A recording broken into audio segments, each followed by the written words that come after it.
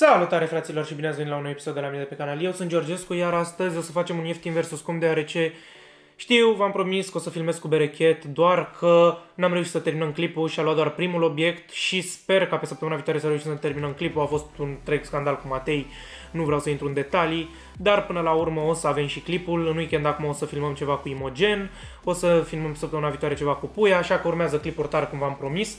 Din păcate sneaker shopping-urile, cum am zis, nu se pot ține, iar astăzi o să facem un ieftin versus scump la două perechi de blazer. Avem o pereche de blazer 77 vintage,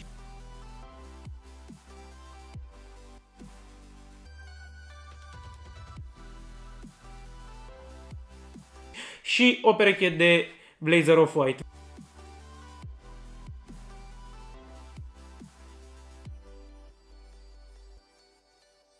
Vreau să văd dacă merită prețul de pe perechea de blazer off-white sau dacă nu merită sau care sunt avantajele, care sunt dezavantajele. De ce este prețul așa de mare pe perechea în afară de sigla de la off-white de pe ele. Hai să trecem ușor, ușor să ne uităm la cutii. Cutiile, din ce puteți vedea, sunt foarte diferite. Cutia de la Blazer 77 Vintage vine într-o cutie normală, nu vine într-o cutie specială cum este cea de la Off-White. Cutia asta, să zic așa, este una mai simplistă, se duce un pic spre cutia de easy-uri. Cutia de la 77 uh, Vintage este fix cutia aia vintage de Nike, portocalie, nu cea roșie, cu semnul de la Nike Vintage. Sincer, sincer, de la început, perechea asta nu merită banii, dar să vedem un pic de ce nu-și merită banii și să vedem exact care sunt prețurile. Haideți să trecem în interiorul cutiei. Perechea de Blazer 77 Vintage vine doar cu hârtia aceasta albă, împachetată și cu nicio pereche de șireturi, pe când perechea de Blazer Off-White vine cu o hârtie normală albă și cu hârtia specială de la Nike Off-White, vine cu acest zip tie și cu perechea de șireturi adițională. Pe lângă asta, perechile de Nike Off-White mai au aceste mici taguri made in China la care, care se găsesc pe toate perechile de la Off-White. Și aceasta a fost cutia de la Nike Off-White. Aici avem perechea. Și acum haideți să scoatem și perechea de Blazer 77 Vintage. Ok, din prima, din ce puteți observa, sunt două perechi de Blazer aproape identice. Apărul la perechea de Blazer Off-White este în față, este dintr-un cauciuc, față de perechea de Blazer normală care este dintr-un suede.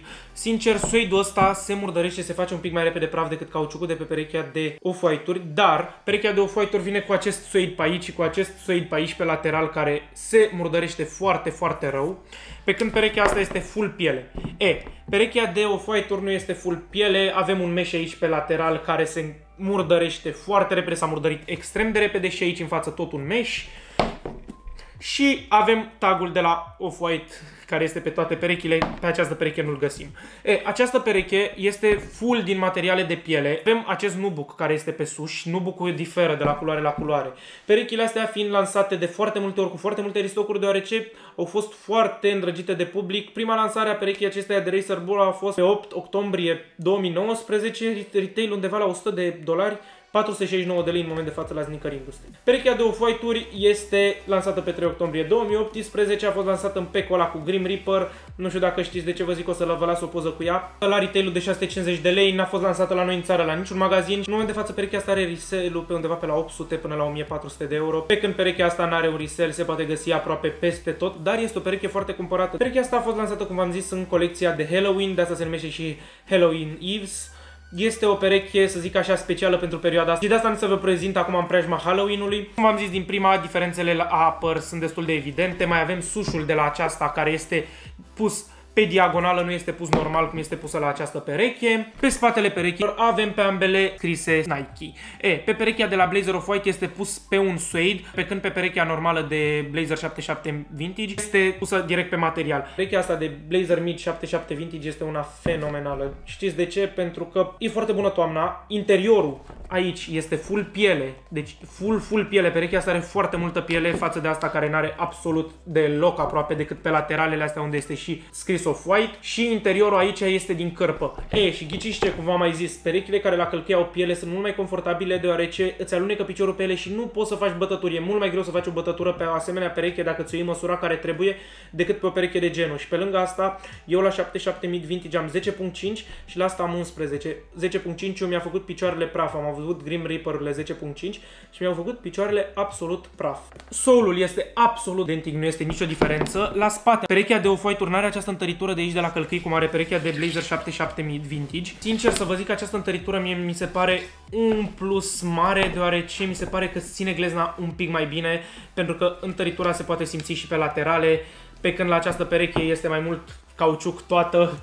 Asta este un pic mai tare și la talpă. Talpa de la asta este foarte, foarte moale. Adică eu când am primit perechea asta m-am și speriat așa un pic. Când mergi cu ea cu perechea de off frate, e jale. Deci mergi, zici că calci pe ciment. Deci efectiv zici că calci pe ciment, ceea ce nu sunt deloc de acord, chiar nu sunt deloc de acord. Cheia asta de o foită, uitați-vă în ce hal s-a făcut, este extrem de murdară. Pe când perechile astea de 1770 se țin destul de bine, mai am niște perechi purtate, mai am și o pereche de suede, am și perechea cu sușul negru, am și perechea cu sușul roșu. Perechile astea sunt niște perechi de toamnă, iarnă, primăvară super, super bune.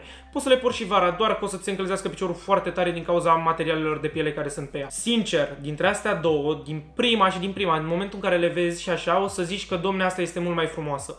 Băi, da, nu pot să zic. Perechea asta portocalie este demențială și mai ales acum cu Halloween. Perechea asta are o altă personalitate față de asta care este o pereche simplă albă, doar cu sușul diferit. Dar materialele lasă amprenta mult.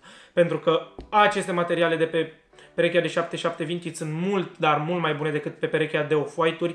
Pe perechea de off-white-uri avem limba aceasta care este tăiată marca Virgil Abloh, dar, ghiciți ce, și pe perechea de 77 vintage avem aceeași limbă, nu pot să zic că wow ce este pe această pereche și ce nu este pe aia. În schimb, lace-urile sunt cele pe care scrie shoelace aici, aici avem niște lace-uri normale, dar nu cred că vă deranjează. Și pe lângă asta este o pereche de buget. Perechea asta când am luat-o eu era undeva pe la vreo 400 de euro pe acolo, nici nu mai știu când ai am dat pe ea. Dar am luat-o foarte, foarte ieftin pentru că am luat-o foarte apropiat de momentul release-ului. Am luat-o acum 2 ani, fix în perioada aia de Halloween, după tot la fel organizasem balul de boboci și am mai făcut și atunci niște bani și am luat perechea asta.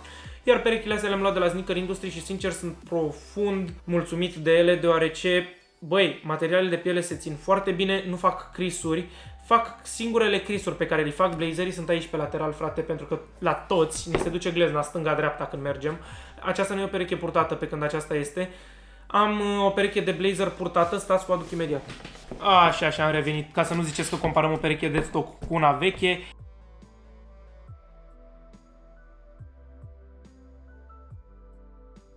Aceasta este o pereche purtată. Uitați-vă cât de bine se ține ca și materiale, cât de bine s-a ținut din toate punctele de vedere. Are niște mici, dar mici crisuri, dar în rest este absolut demențială cum s-a ținut. Uitați-vă pe laterale față de perechea asta. Deci vă puteți uita singuri să vedeți diferențele. Această pereche este 100 de dolari și asta e o pereche purtată, dar purtată bine, adică nu gen purtată sănătos. Ce pot să vă zic la perechea asta este că talpa o să se murdărească și rămân urme de cauciuc foarte mult pe ea, o să trebuiască să frecați ca să le curățați. S-au lansat foarte multe colorway-uri, bănuiesc că motivul a fost faptul că oamenii cumpără foarte, foarte mult această pereche. Cum v-am mai zis, la aceasta eu merg pe 0.5 up, la asta am mers one size up, am 11 US, la asta, la asta am US 10.5 și da, fraților, cred că cam astea sunt diferențele și asemănările dintre pereche. Asemănările sunt la shape și cam atât. În rest, materialele în mare parte sunt foarte diferite. Pielea de pe ele este foarte diferită. Foarte multă lume se așteaptă ca pe toată colaborarea asta Nike Off-White să fie perechile de o calitate superioară față de cele normale, dar nu prea e așa absolut deloc. Și da, cred că concluzia o, o puteți trage singure. Eu tras-o și la începutul episodului. Aceste perechi de Nike Off-White nu-și merită banii față de o pereche normală de blazer vintage. De ce? Deoarece materialele de pe acestea sunt mult mai bune decât pe perechea asta și prețul, frate, prețul contează enorm. Pentru că nu are toată lumea să arunce între 800 și 1400 de euro. Mi se pare un preț exorbitant pentru ce oferă perechea asta, când până un alt este o pereche pe care o porți. Și perechile astea care sunt 469 de lei. Și da, fraților, nu uitați să scrieți în comentarii ce clipuri vreți să mai vedeți la mine pe canal. Cum v-am promis, clipul cu Berechet o să apară săptămâna viitoare. Sper să reușesc să filmez cu el. Și ca de fiecare dată, eu am fost Georgescu. Nu uitați de like, share, com, subscribe, toate ale rele. Nu uitați să-mi dați follow pe Instagram la Georgescu. Nu uitați să folosiți codul Georgescu la fiecare ce caut de pe Sneaker Industry. Și, da, fraților, ne vedem data viitoare, adică luni. Pa!